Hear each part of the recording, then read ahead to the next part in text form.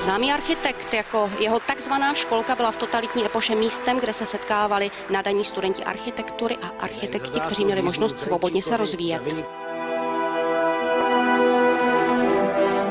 Samozřejmě, že v té době vlastně viděli něco, že se udělalo cosi, co ještě se nikdy neudělalo a že to je možné to dělat zase zítra znovu, že to bude ještě lepší, protože to, co jsem viděl, tak to musím přece ještě vidět něco jako dál a dál. Že to udělám proto, že to umím a že to udělám desetkrát. Ne. Prostě přemýšlím o těch věcech, že to můžu udělat úplně jinak.